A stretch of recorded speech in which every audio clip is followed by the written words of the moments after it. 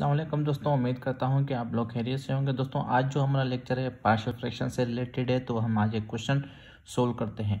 तो दोस्तों इस क्वेश्चन को जो है ना रिजोल्व करना है पार्शियल फ्रैक्शन में। तो दोस्तों, बहुत ही आसान सा सवाल है। आइए देखते हैं कि ये किस तरह जो है ना पार्शल फ्रैक्शन में रिजोल्व होता है। क्योंकि यहाँ पर हमें तीन फैक्टर्स गिवन है तो हमारे पास तीन फैक्टर्स आएँगे ए बी सी ठीक है तो हम क्या करेंगे, इनको पहले लिख लेते हैं। X minus one plus b x plus two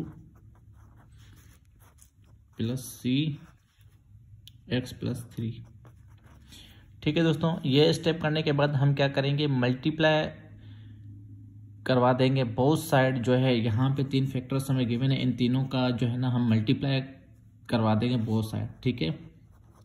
Multiply x minus one x plus two and x plus three both side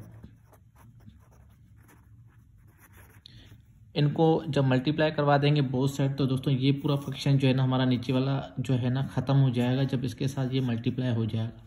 ठीक है? तो यहाँ भी हमारे पास सिर्फ़ बच जाएगा two x plus one is equal to यहाँ पे जब ए के साथ जब हम इस पूरी फ़ंक्शन को मल्टीप्लाई करवा देंगे। दोस्तों, x माइनस वन से x माइनस वन खत्म हो जाएगा। बाकी के दो टर्म हमारे पास बच जाएँगे। x plus two and x plus three ठीक है? सेम इसी तरह। B के लिए हम चेक करेंगे तो x प्लस टू से x प्लस टू खत्म हो जाएगा तो हमारे पास बचेगा। x minus one and x plus three plus c के लिए अगर हम चेक करेंगे तो दोस्तों, x प्लस थ्री खत्म हो जाएगा। बाकी के दो टर्म जो हमारे पास हो गए x minus one and x plus two ठीक है? तो ये हमारे पास बन गया। अब क्योंकि हमें एक्स की ए की ए और बी और सी की वैल्यू फाइंड करनी है तो दोस्तों हमारे पास जो है ना एक्स की वैल्यू निकालेंगे हम यहाँ से। ठीक है? जैसे x x plus two given है, इस तरह एक्स प्लस थ्री गिवन है एक्स माइनस वन गिवन है तो इन तीनों में से कोई एक हम लेट कर लेते हैं कि x plus two is equal to zero के बराबर है। तो x जो है ना माइनस टू के बराबर आ गया। ठीक है? x माइनस टू के बराबर आ गया तो अब हम क्या करेंगे? इस x की वैल्यू को जो है ना, हम इस इक्वेशन में जो है पुट करेंगे। इसको हम इक्वेशन नंबर वन बोल देते हैं। ठीक है? इक्वेशन नंबर वन में पुट करना है। ठीक है दोस्तों? x की वैल्यू हमारे पास क्या है? माइनस टू ठीक है? Plus one is equal to a minus two plus two और ये x plus three plus b minus two minus one minus two plus three plus c minus two minus one and minus two plus two ठीक है? यहाँ पे हो जाएगा two two ज़ minus four plus one is equal to देखिए दोस्तों, ये माइनस टू प्लस टू है तो ये कैंसिल हो जाएगा। जब ये ज़ीरो हो जाएगा पूरा टर्म तो ये इसके साथ भी जो है ना ज़ीरो हो जाएगा। ठीक है ए जो है हमारे पास क्या हो गया? ए हमारे पास क्या हो जाएगा? ज़ीरो प्लस बी की वैल्यू अगर हम चेक करें तो minus one minus two minus one तो कितना हो जाएगा? माइनस वन माइनस टू हमारे पास कितना आ जाएगा? माइनस थ्री और यहाँ पे minus two plus one, plus three, minus two, plus three तो यहाँ पे आ जाएगा वन। ठीक है? प्लस सी सी का चेक कर लेते हैं, minus one, minus two, minus one तो ये आ जाएगा माइनस का थ्री। ये इसके साथ कैंसिल हो जाएगा तो ये पूरी टर्म दोस्तों ज़ीरो हो जाएगा। ठीक है? सी टर्म यहाँ पे खत्म हो जाएगा।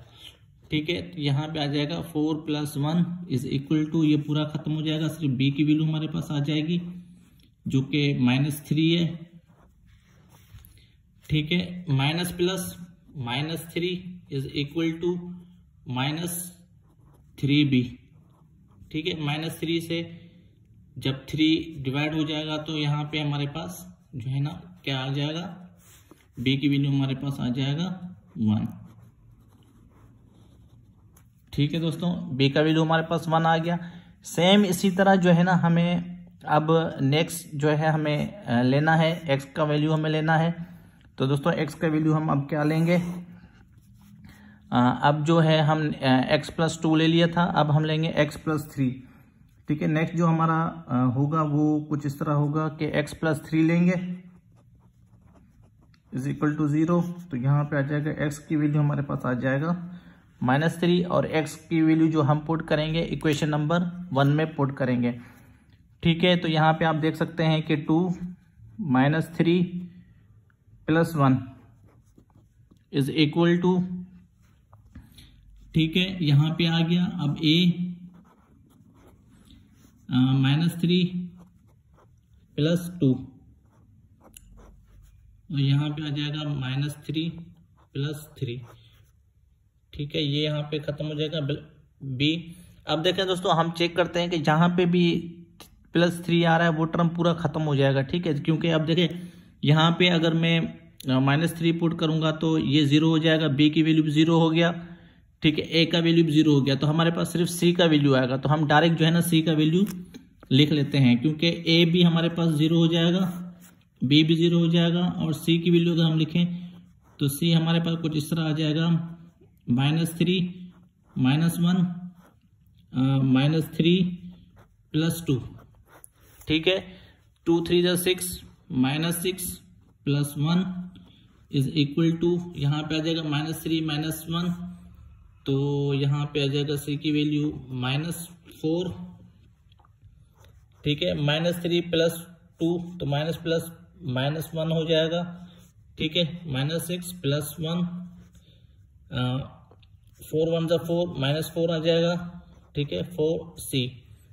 ठीक है, अगर माइनस यहाँ पे हम देखेंगे minus six plus one, minus plus minus तो ये आ जाएगा minus five is equal to minus four C, और सी की वैल्यू जो हमारे पास आ जाएगा यहाँ पे माइनस फोर, माइनस फाइव और माइनस फोर, माइनस से माइनस कैंसिल हो जाएगा तो सी की वैल्यू हमारे पास आ जाएगा फाइव अपॉन फोर। ठीक है दोस्तों, सी का वैल्यू भी आ गया हमारे पास। अब हम क्या करेंगे?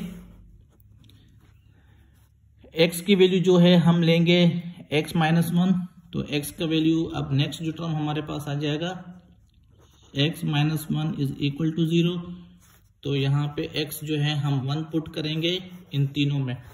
ठीक है दोस्तों, हम डायरेक्ट कर लेते हैं। यहाँ पे देखते हैं कि जहाँ पे भी हमारे पास एक्स में वन आ रहा है तो वो सारा ख़त्म हो जाएगा। ठीक है, अब देखें। बी यहाँ पे अगर माइनस एक्स पुट करता हूँ माइनस एक्स माइनस वन यानी कि वन पुट करूँगा तो ये पूरा टर्म ज़ीरो हो जाएगा। और उसके बाद यहाँ पे मैं वन पुट करूँगा तो ये पूरी टर्म ज़ीरो हो जाएगी यानी कि बी और सी तो हमारे पास ज़ीरो हो गया। उसके बाद फाइनल जो हमारे पास ए का वैल्यू आ जाएगा, ठीक है? इस तरह जो हमारे पास इक्वेशन है, वो है टू एक्स यानी कि one plus one is equal to a x हमारे पास कितना है? One plus two one plus three बाकी के जो टर्म है हमारे पास बी भी ज़ीरो हो जाएगा प्लस सी भी हमारे पास ज़ीरो हो जाएगा।